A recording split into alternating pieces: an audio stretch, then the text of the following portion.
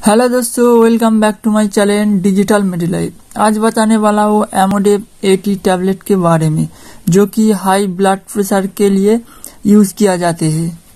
इसके बारे में और भी जानकारी चाहिए तो ये वीडियो लास्ट तक देखना और आप नहीं है तो सब्सक्राइब कर देना और जाते जाते बेल आइकन भी बजा देना, क्योंकि आगे मेडिसिन की जानकारी कोई भी वीडियो पोस्ट करे, सबसे पहले आपके पास नोटिफिकेशन चला जाए। एमोडेव एटी एफडीसी कंपनी से मैन्युफैक्चर होती है। इसका एमआरपी 38 वन स्टीम में 15 टैबलेट होती है। इसका जो इंग्रेडिएंट्स है एमलोडिफिन 5 एम और एटिनोनॉल 15 एम आती है।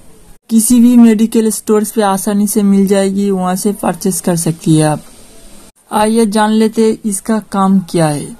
इसका काम आपका हाई ब्लड प्रेशर में यूज़ किया जाते हैं। आपका बीपी बढ़ गई हो तो ये टैबलेट यूज़ किया जाते हैं। आपका ब्लड प्रेशर के वजह से सर दर्द होती है, इस टैबलेट को यूज़ किया जाता है। आपका हाई ब्लड प्रेशर में उल्टी आती है, इस कंडीशनों में इस टैबलेट को यूज़ किया जाता है। आपका हाई ब्लड प्रेशर की वजह से घबराहट या सर चक्कर दे सकती है, उसमें इस टैबलेट को यूज़ किया जाता है। ब्लड प्रेशर की वजह से शरीर में कप कपान होना, उससे भी इस टैबलेट को यूज़ किया जाते हैं। ब्लड प्रेशर की वजह से चेस्ट पेन हो सकती है, उससे भी यूज़ किया जाते है इस टैबलेट को। दोस्तों, इन सारे कंडीशनों में ये टैबलेट को यूज़ किया जाते है। हाई ब्लड प्रेशर कंट्रोल करने के लिए इस टैबलेट को यूज़ किया जाते है। आप जान लेते इसका डोज लेने की सही तरीका। पहले बात आप डोज लेने से पहले अपने डॉक्टर को ज़रूर सलाह लीजिए इस टैबलेट को यूज़ करने से पहले। दोस्तों, पेशेंट की कंडीशन देखते ही डॉक्टर प्रिस्क्राइब करते हैं, दिन में कितने बार लेने चाहिए इस दवाई को। इस टैबलेट को दोस्तों, दिन में एक बार सुबह खाने के बाद डॉक्टर देती है इस टैबलेट को। दोस्तों कौन कौन इस टैबलेट को यूज़ ना करे? आप अल्कोहल लेते हैं, इस टैबलेट को यूज़ ना करें। ड्राइव करने वक्त इस टैबलेट को यूज़ ना करें। प्रेगनेंसी हो तो इस टैबलेट को यूज़ ना करें। किडनी और लीवर की प्रॉब्लम हो तो इस टैबलेट को यूज़ ना करें।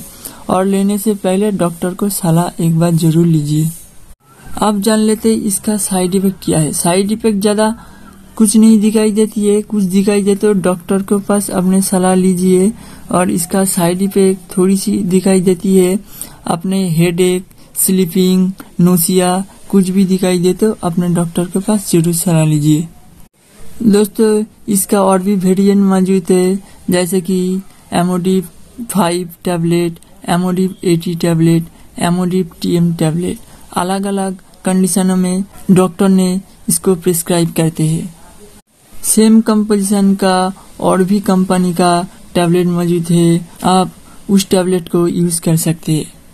ये रहा एमोडिप टैबलेट का full of information I hope ये वीडियो अच्छी लगी। अच्छी लगी तो लाइक कर देना। Thank you for this watching video digital मेरी लाइफ